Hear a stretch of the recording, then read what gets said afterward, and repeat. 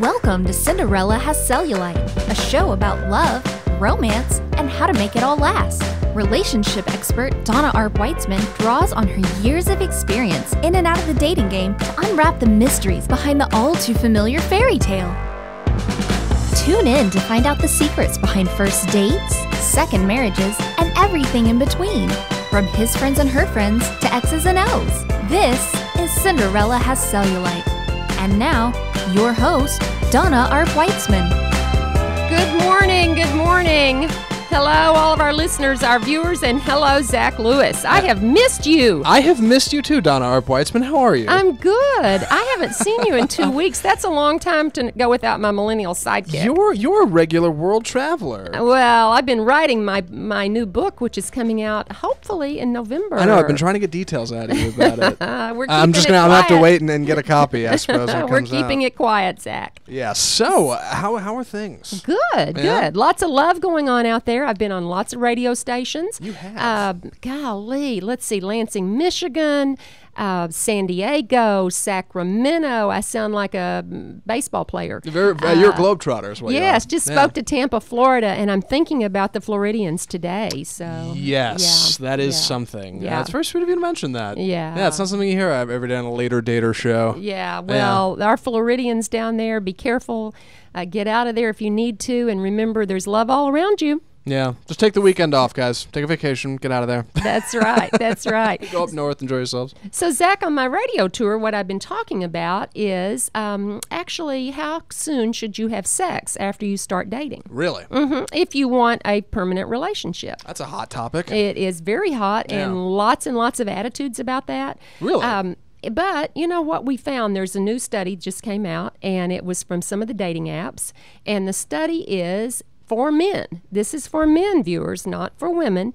For men, if they have sex with the woman in within the first month of the relationship, the relationship is four times as likely to falter and Really? go away Within the first month. within the first 30 days. You know, I like to think that not all guys are bad guys, and that maybe that statistic's a little skewed. But at the same time, I am a man, and um, what do you think? you know that doesn't sound totally wrong, which is so twisted. Yeah, Um, for you viewers, Zach is a little red in the face right you now. You know, just ah, boys, they're the worst. Uh, but we love them. We love the boys. Now, for the ladies, um, if you have sex with uh, your other, your significant other, being a lover or whatever, apparently will be, be a lover if you have sex within the first 30 days. But women are more likely to fall in love. No, really, within Mm-hmm. the first thirty. Yes, and that's because of their hormones. We are hormonally different than you guys. Right. hmm The men, the hormones don't play a part. Opposites attract, don't they? Golly. Well, yeah, one, one, one member of the sex first month. Ah, I'm out of here. Other members like, well, wait, come on. What do you What's the think, deal? Zach? What do you think leads to a permanent relationship from a guy's standpoint? um, Obviously, it's not sex. No, I, I would think a guy, uh, at least at least uh, from guys that I know, I I think it's it's it's a level of comfort. It's a level of nurturing. There you go. It's a level of trust. Hmm. If they think the, the girl trusts them, the woman trusts them. And number two, it's shared relationships, shared experiences. So, girls and ladies, if you get to know your new guy and you get to know his family and his friends and you get comfortable with him and he's comfortable with you and the sooner you do that not not acting it out but really doing that the more likely he is to uh, have a permanent relationship with you Wow. You know, yeah, I guess that makes sense. Yeah, that passes the smell test. Why not? Sure, I believe it. guys like dogs, they like nice warm couches, and they like women who pay attention to them. That is so true. Yeah, Donna, I think you've got this whole thing figured out. You know what? It's we're going across the country talking about this study, and uh, the guys in San Diego are the same as the guys in Tampa, or is the same in Dallas. I'm curious. Yeah, when you're talking to different people, it probably doesn't vary a whole lot by region because we're all in America. But um, what do, what do people think? Do they do they assume that that's more untrue or more true? Well, because millennials are more likely to have casual sex, Hmm. even now, before sometimes they have a first date, Yes. uh, the marriage rates have been falling. And so, um, dating apps and also just psychologists and therapists across the country were wondering why in the world is our marriage rates falling? Well, of course, there's lots of reasons. One reason is our women now can make their own living. They can, you know, they have big jobs and all of that kind of thing, so they're more independent. But the other reason is um, there's a lot more opportunity for Yeah. partners. You know, there's millions of them out there on dating apps. You can find a woman fairly easily.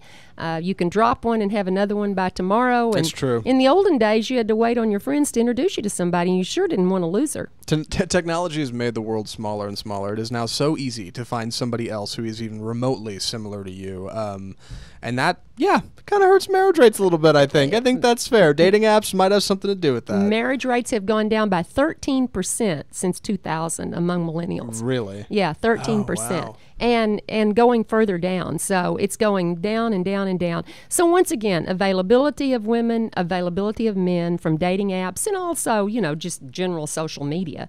And then of course, um, your chances of meeting someone is pretty great. Yeah. You know, you may not stay with them, but you're going to meet them.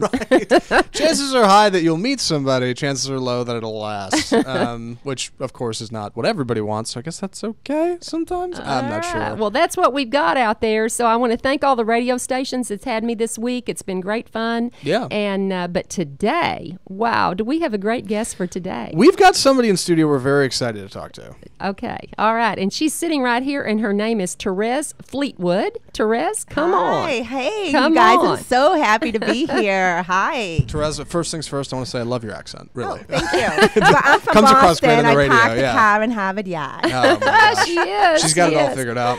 Now, the most fun that, well, Therez is so fun, but I wanted to tell all the viewers and the listeners the name of her company, and it's Luxury Romance Concierge. Yes. Do you love that, having your own concierge for romance? I love it, and I want to know more. Yeah, luxury romance concierge. Tell us about your company, Therez. Absolutely. Well, the company, um, what I do is I, I work with couples and I create fantasy date nights, erotic, adventurous, kinky, meditative, relax, relaxing, romantic, but date nights that really allow couples to come together and strengthen their bond as a couple.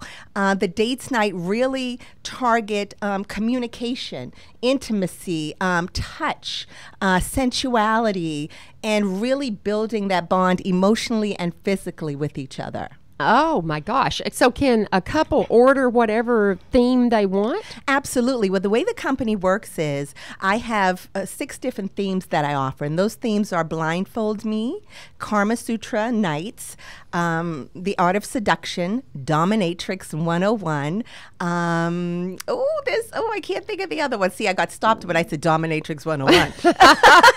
That's, but a, that's a other big ones. one. Yeah. But I did have a client recently also uh, request a foot fetish fantasy. Oh. So, and then I'm also introducing Egyptian Tantra as well. So, what they do is they pick their fantasy, and I either work, um, I mainly work out of hotel rooms, four star hotels. I do Four-star have a five star star hotel package as well. But sometimes clients do ask me to come to their homes and decorate their homes. So, what I do from the moment that door opens, you walk into an ambiance that's created around your fantasy. Candles are flickering, aromatherapy. You have a spa bath with real rose petals.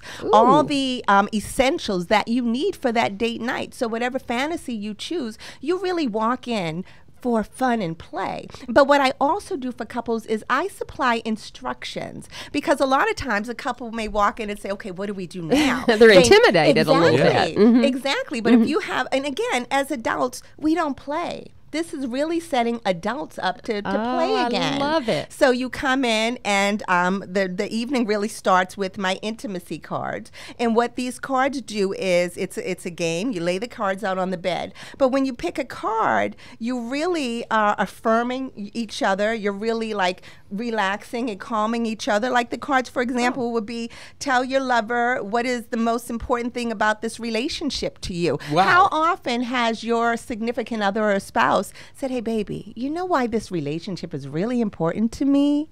And then you share. Oh, so And it's about uh, communication. it's very much so. And, and, and gratitude and, and affirming each other.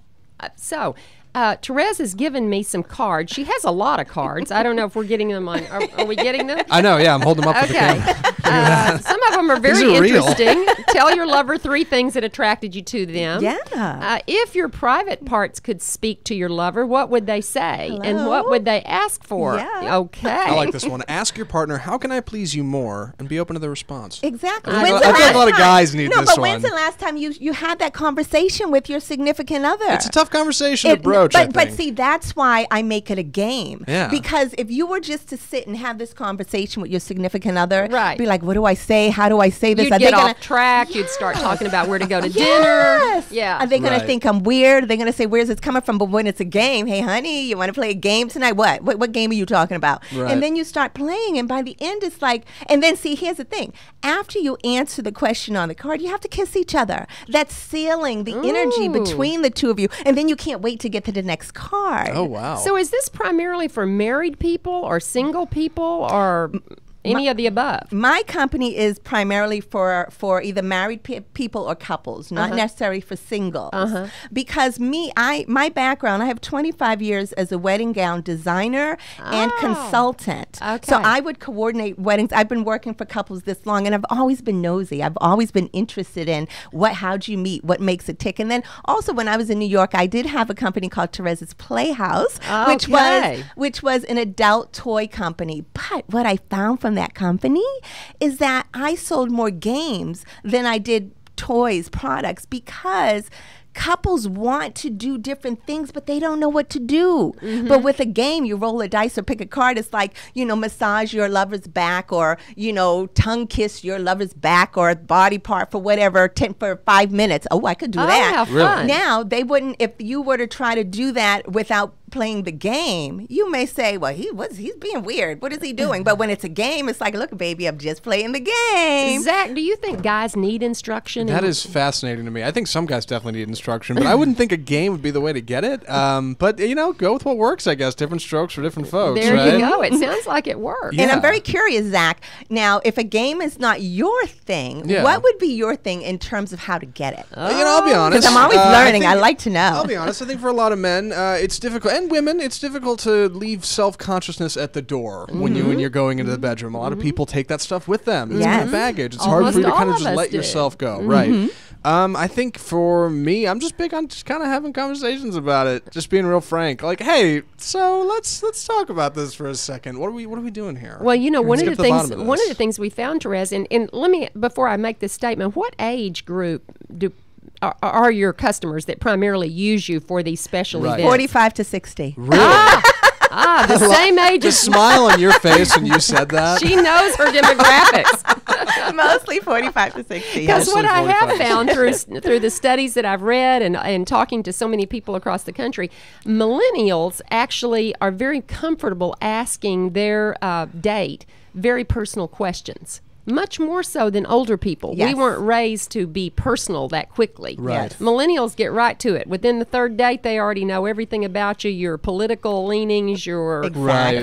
Yeah, personality. we, we cut to the chase. You It's do. true. We're, Yes. We're, we, we, Yeah. we, we want Netflix. We don't want commercials. We want our things now. That's, That's what we right. want. Yeah. See, That's that's, a very good point, and and I'm glad you brought that up because also with millennials, and I want your point of view on this. When it comes to physical intimacy with your partner, are you there hundred percent? Are you attentive and in the moment and feeling the energy and vibration of your partner, or is it just for for entertainment and sport and, and just getting there? Like Or- like yeah. Or are you Oh, phubbing, gosh. Are you phubbing? How connected are you remember to your Oh, phubbing. You're hitting me with a lot of big topics. but, here. but you're you're perfect. I think I think it depends on if you're a man or a woman. I'll be honest. I think men sometimes maybe it's a little bit of both, which Mm-hmm. is unfortunate. For a woman, I would think being a guy and not knowing for sure, um, it's probably more of the former and less of the latter. Mm. I it's don't more of an intimate thing. It's Yeah. like you said, it's hormones, Women- it's mental, it's emotional. The hormones take over with us women. With the Right. guys, their hormones are of a different sort. right. There's there's much more of a physical kind Yes, of prowess yes. to it. Yeah. Exactly. So imagine really building that intimacy, that physical intimacy with somebody where you're so in tuned with each other and not just for the recreation and entertainment of sex, but really breathing each other's breath, feeling each other, learning every aspect of the body. This is what makes intimacy so beautiful because I believe when you're when you've developed that intimacy with your partner, nobody can break that there is there is this this this excellent point. Mm-hmm. calmness and there is this this satisfaction and this this this bond that you build when you're really able to be so honest and so open mentally physically and spiritually with your partner and i think in today's society it's like rush rush get there get there get there ha ha it's like millennials ha ha ha ha, ha. it's like older people So do you know what I mean? Let me ask you how the the women, and it's primarily women who book your service, correct? No, Or no, no, no, men. no, men. Men? Okay, Mhm. yeah, okay. seventy percent Really? men. Believe it or not, 70%. seventy percent Guys- men. guys get now, women, sometimes. women d- tell the men about the service. Okay. but you know, sometimes you know, I think women by nature we're just a little more romantic, Uh-huh. even though we may not know how to express that. But men, They need the little help. They romantic, need- but they need the help. They need the and let me tell you, when men book the date nights, and okay. No, should I go there? That might be another show. But anyway, when men book the date nights and surprise their wives, they earn so many cool points for I that. bet the they wives do. have no idea when that door opens and they're like the big rock star now. Hey, I- you know what I mean?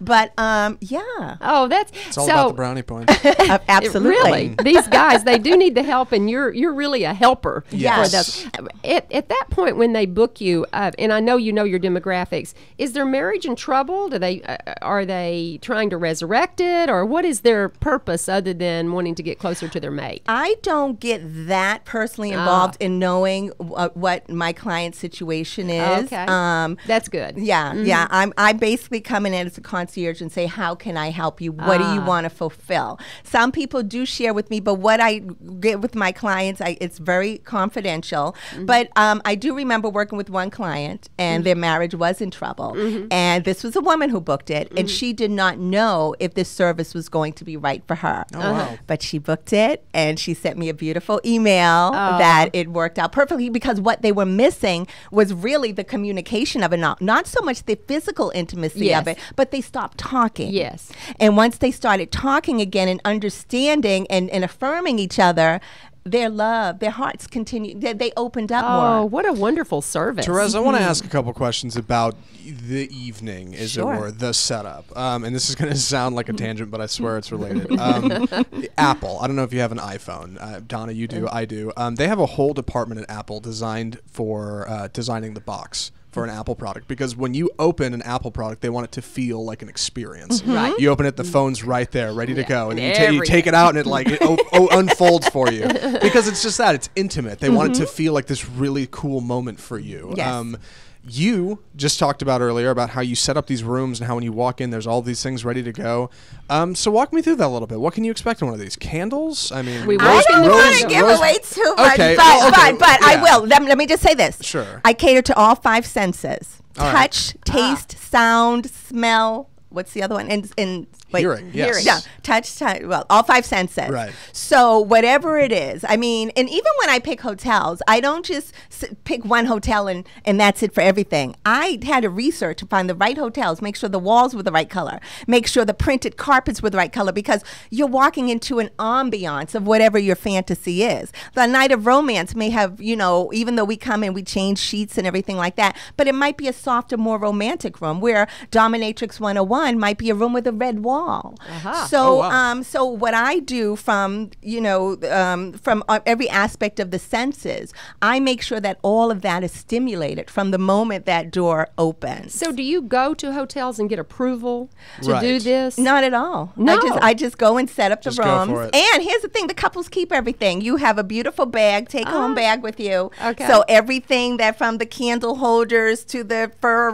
bedspread, whatever's in there, you get to take all of that home with you and recreate it. And see, and, and one thing I do like about creating these fantasy nights at home is it's the trigger from the moment that the door opens leading up to the bedroom or the bathroom with the rose petals and the candles when you come home after all this is cleaned up i had a couple uh, a woman um, email me and say i'm finding rose petals all over my house but but Sounds it- like a good night. Zach. Yes, sounds like exactly. but you remember this, so you walk into that house and there's that trigger that oh, I remember last Friday night. Oh my God, you know what I mean? So it's that memory that that's in there. So That's if I'm if I'm a housekeeper in the local Holiday Inn, and Right. and I walk in and you've left and we're waiting on the couple and it's suddenly a dominatrix room. Uh-huh. What happens to the management of the hotel? Well, it's not. well, First of Right. all, I don't do Holiday Inn. I only do four and five Oh, star okay. hotels. I'm That's just not a kick on holiday. We love Holiday yeah, Inn. no Motel Six. we love Motel Six. now, now, I the, the only I wouldn't say complaint, but whatever that I had was really for the rose petals because it, Oh. it is it is a cleanup. So I kind of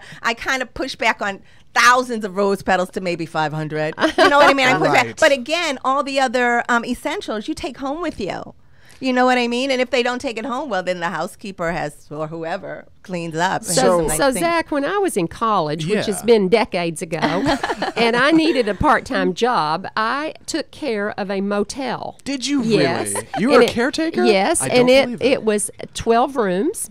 Okay, so every day when I'd finish my classes that morning, I would go and clean up the rooms of these 12 rooms of this little motel.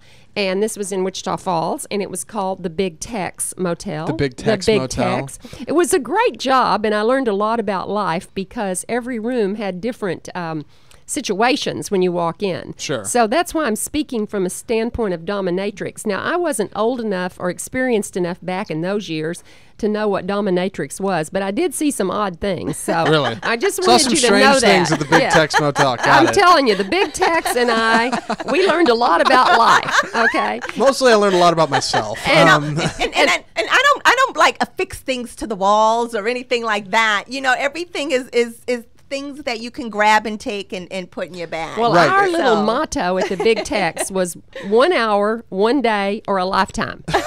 so you can't take it with you.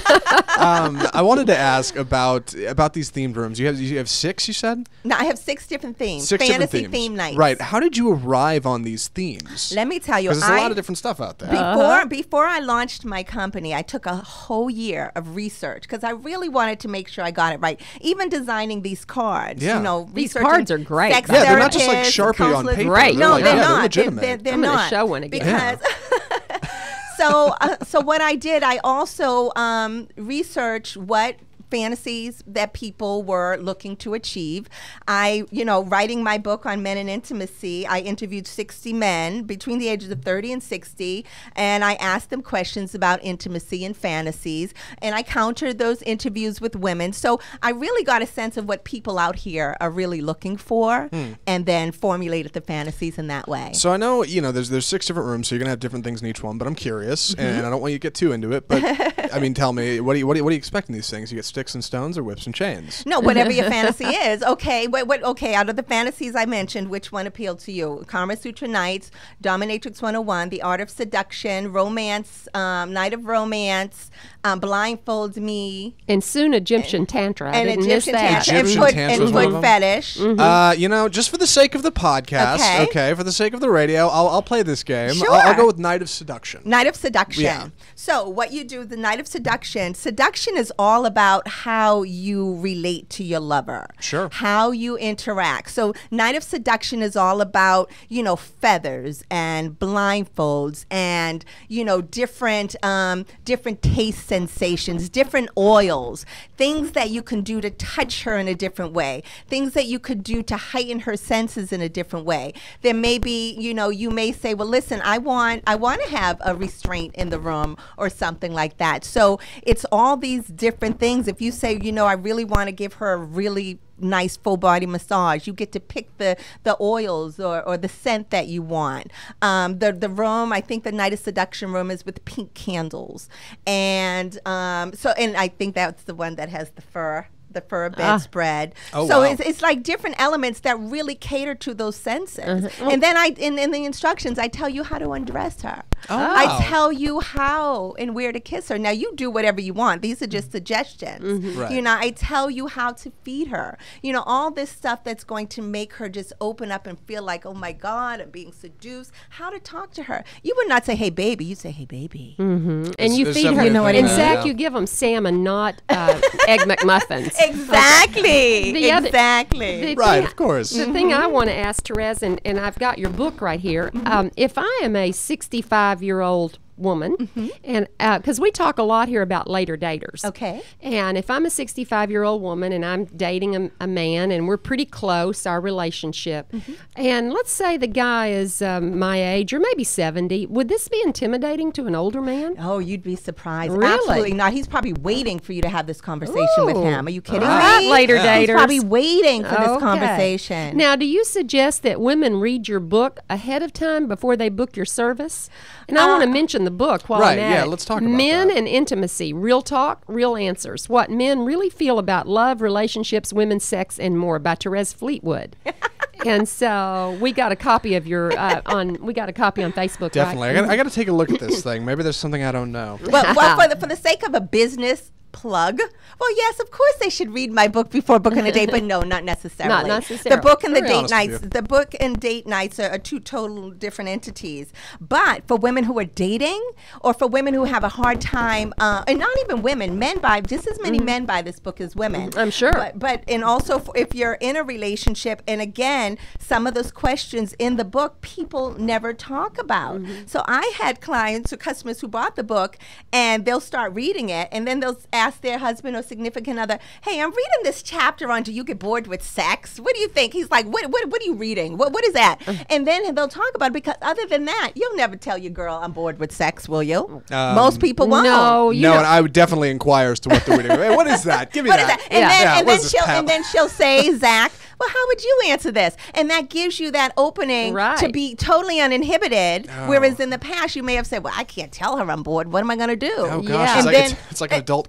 Cosmo quiz. No, exactly. but it's fun because then you get to say, "Oh, baby, I didn't know you wanted to do that." Kind of true. See, Yeah. Zach, this love thing it takes a lot of effort, It right? opens a little bit of honesty, Yeah, yeah. yeah, a takes lot of honesty, a lot but of that's communication. Mm-hmm. intimacy. That's building intimacy, and that's what I stand for with couples to really build that bond because it's so easy to to not build that bond. It's like when we get married. Yeah. you we're supposed to en- enter into a covenant. That means two people coming together and building that mm-hmm. bond. We enter into contracts these days mm-hmm. where everybody, but people are separate and mm-hmm. not coming together. But if you go in with that mindset, regardless of what, we're building a covenant. We're going to form this together, not a contract. We're together. We're going together, work. and because I've been told that marriage is like a ladder. One person's on one step, another person's on another step, but that's not building it together. No. That's two separate people.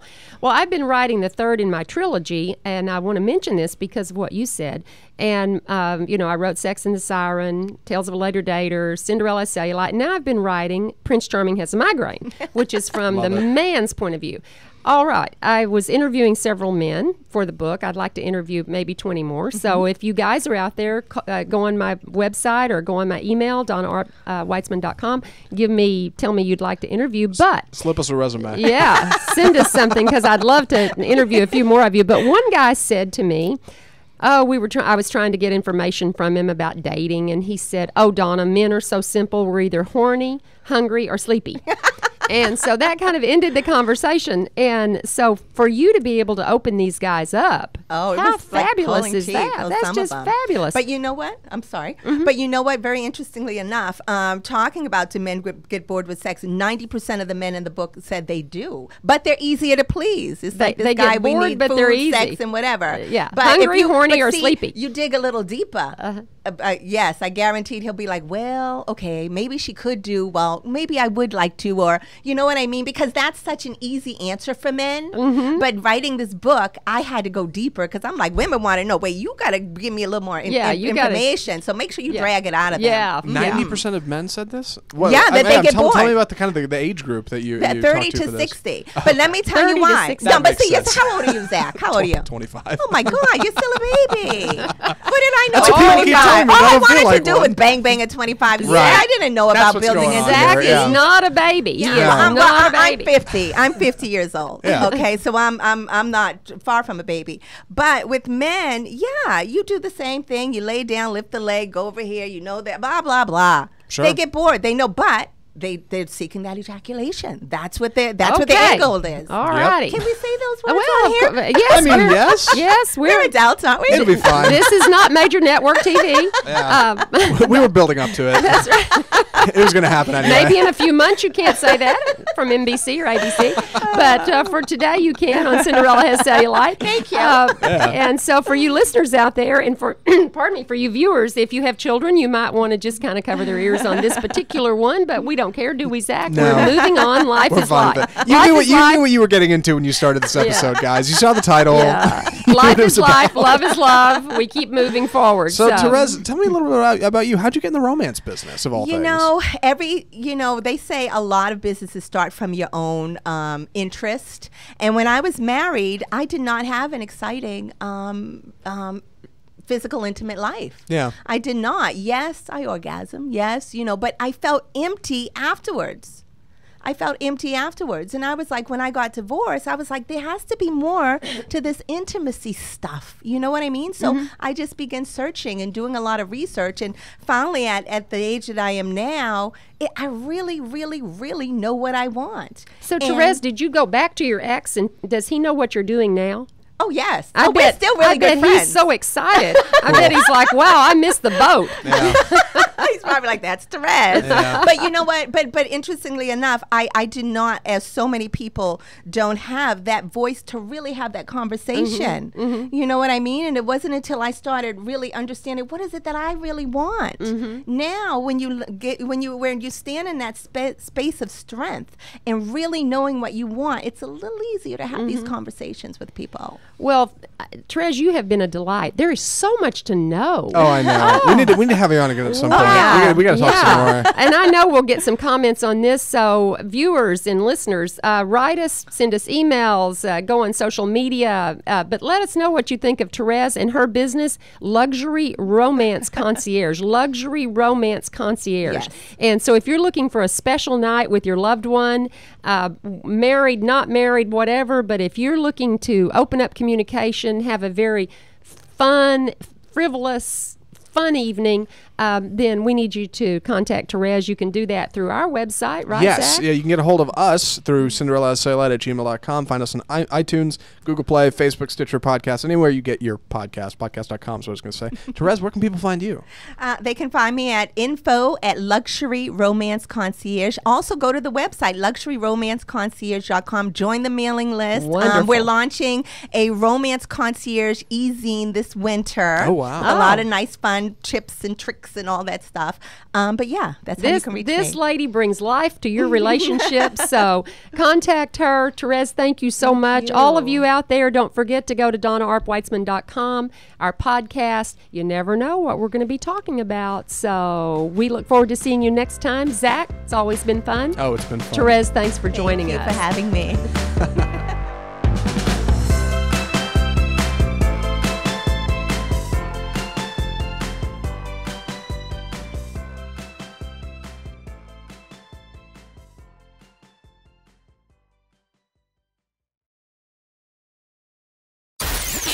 listening to RNCN, the digital destination for premium talk radio.